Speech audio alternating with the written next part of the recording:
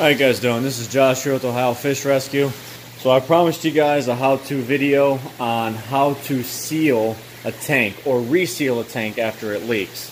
So first, I'm going to take you guys through and tell you what this person did wrong in sealing this tank. Because you guys can see there's gobbered silicone in the corners. These corner beads are very, very thin.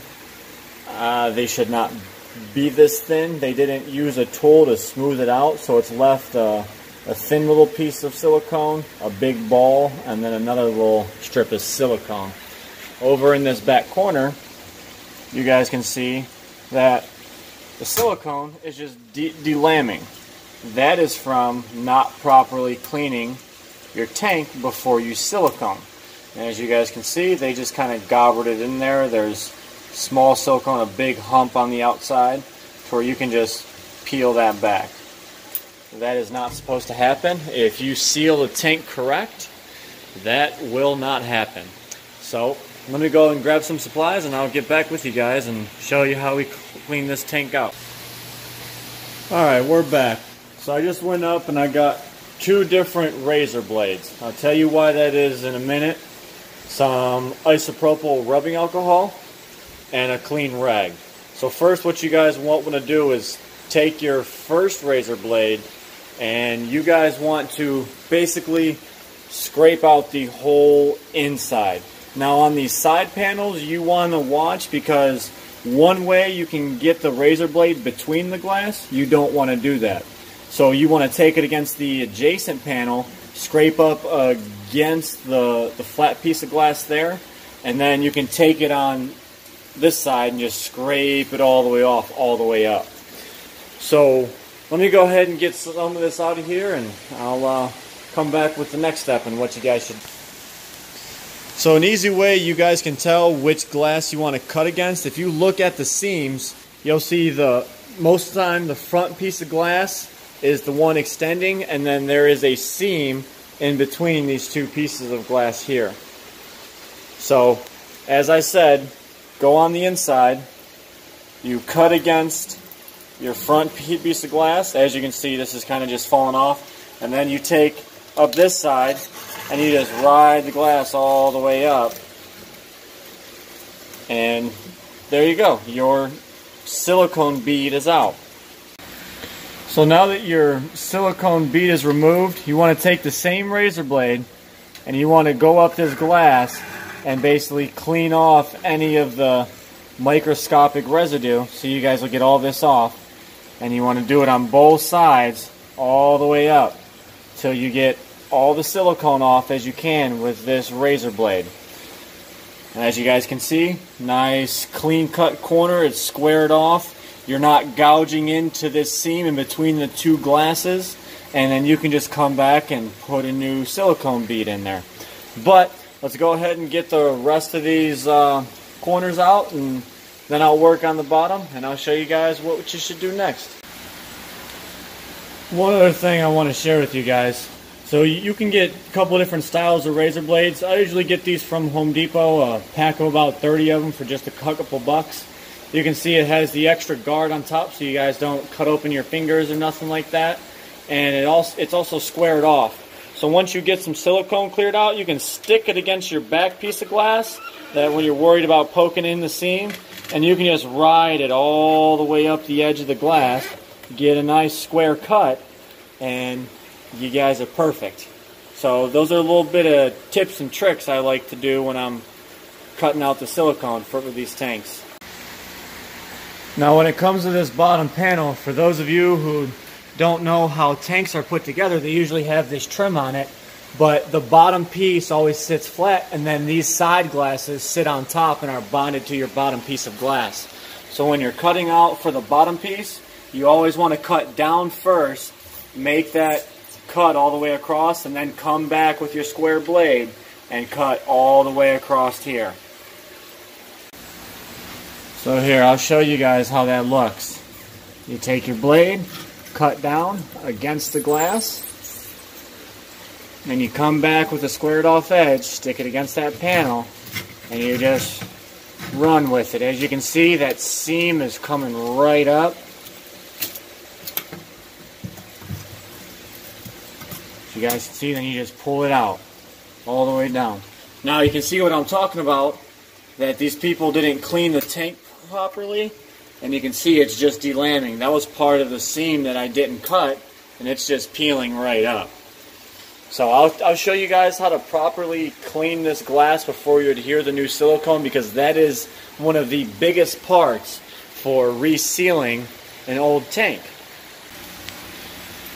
Okay, you guys can see I've got this bead out, this bead out, and this bead out. Now the trickiest part about pulling the silicone out is definitely the corners because you have to, for one, square it off against the bottom panel and square it off against the side panel and then you've got the opposite direction on the bottom panel, the bottom panel this way. So you technically have four cuts to make for every corner bead. And most people just try and get in there with the razor blade and just gouge at it and just rip it out. That's doing more damage than good. Just take your time, cut it, make your four cuts, and the thing will pull right out and it'll be a nice square edge. Nothing really too monstrous to clean up. And then you've only got four of them. And it'll make your seals when you're putting them in last a lot longer. Now you guys do have the seals up here in the top corner. Make sure you are getting them as well. You want to make sure that every surface, every little piece of silicone is off, but allowing the bead between the glass here, so meaning this little 3 8 inch gap of bead in between the two glasses, that has to stay. So now showing you guys how this looks. You go in there, you go in this way, till you touch the glass. You'll feel it cut all the way through. Don't push too hard because you'll go underneath that pane of glass. Cut against this piece of glass. And of course, you cut down. And you just pull your razor blade out. And that right there is your whole corner bead of silicone. As you can see, there's not much there. So clearly the person who resealed this before didn't really know how big of a bead to use. This ain't bad. It held for, a while, but if you don't use the adequate techniques, then your seal won't last for years at a time. Alright, so I got all the silicone out, all four corners. Now you guys want to go ahead and vacuum this out, get up every little piece of silicone you can. Now you guys are probably wondering, he said we needed two razor blades, but for what reason? So I'll tell you why. Even though you think that all the silicone is gone, there is still a microscopic layer of silicone there. So you guys want to rub your fingers across it and get off any sort of residue of silicone on these edges. So you guys can see I'm wiping it off there. You guys don't see it with your eyes after you cut it with the first blade. Now you've been cutting against glass and you're dulling this blade. So you come over here and you grab a fresh blade after you think you're all said and done. You unwrap it and then you want to re-scrape this tank all the way around. And it'll pull off a little microscopic layer of silicone. Being, see, you see that falling? That is all silicone that you guys would have missed without doing it this way. So after you go ahead and scrape this all the way out, as you guys can see, little fine layer of silicone right there. So I'm to go ahead and scrape this out and I'll get back to you guys in a second. Alright, I just got done scraping it for a second time. Now if you guys do put light on top of it, it does help you see a lot better when you're scraping out the silicone. You can see I just set mine back up on top of the fish tank so I can talk to you guys. Now, after you're scraped out the second time, what you guys want to do is, of course, vacuum it out, get all the debris out. Then you guys want to grab your rubbing alcohol. And you guys want to put it on, on your rag, and you basically want to clean every seam that you are going to be siliconing. This will clean each seam that you are try, trying to do, and it'll make the silicone bond, bond stronger to the glass because it'll get all the microscopic dirt out of the pores of the glass. And it also, when you're cleaning it with the rubbing alcohol, it should be real slick and easy to slide. If you catch up on anything, there's any sort of little, it stops your, your rag, then you know there's something on that glass that should not be, be there. So what I usually do is I'll scrape it a third time after I clean it with uh, rubbing alcohol. So I'm going to go ahead and do that now. And then we can get on to the good stuff and resealing the tank. Alright guys, so I just wiped out every single corner after scraping it twice with uh, isopropyl rubbing out alcohol. Now, normally I would let this dry and scrape it a third time, but the silicone came out way too easily. It wasn't even attached in most spots. So we're just going to go ahead and start sealing up this tank.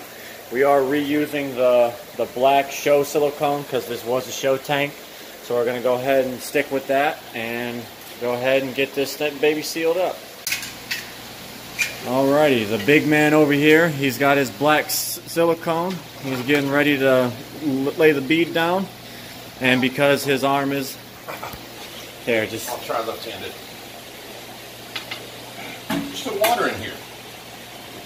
Oh, under the reflection of this. I freaked out for a second. I'm like, how is this clean? So just make sure you lay a nice, even bead all the way down.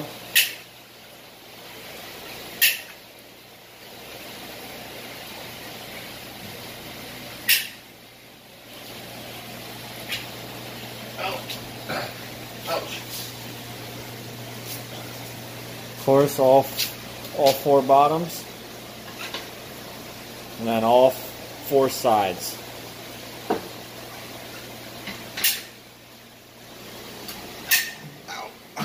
Got to make sure you got, got to do it fast and quick.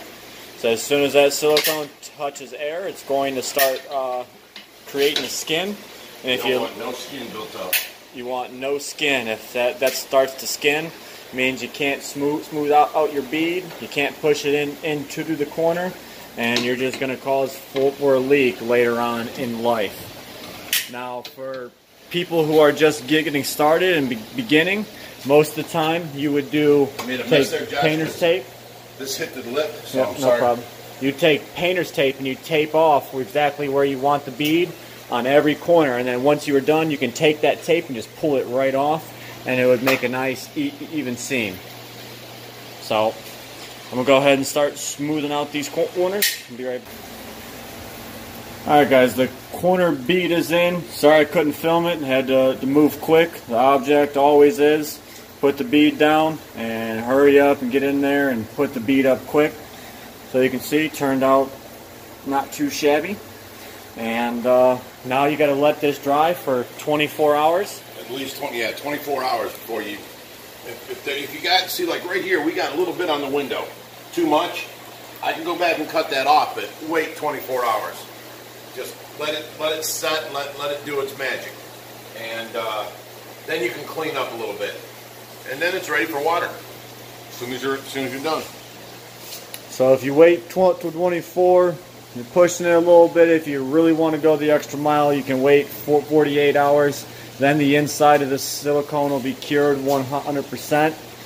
And then you guys, like you said, you can fill it with water and always test fill it for three days. If it holds for th three days, you're, you're good. But there's been many times where I've sealed a tank in the past, thought you know the seal was good because I filled it up with water and it held, and then two days later it sprung a leak and had to redo it, do the same thing.